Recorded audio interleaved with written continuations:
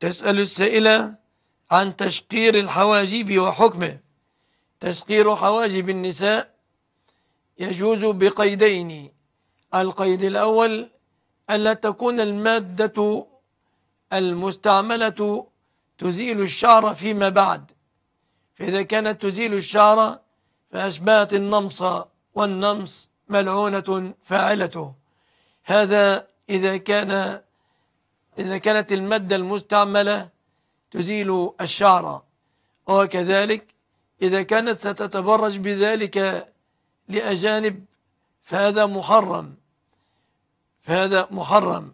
ويكره أيضا إن كانت المرأة ينظر إليها كداعية إلى الله فإن الناس يظنون بها السوء.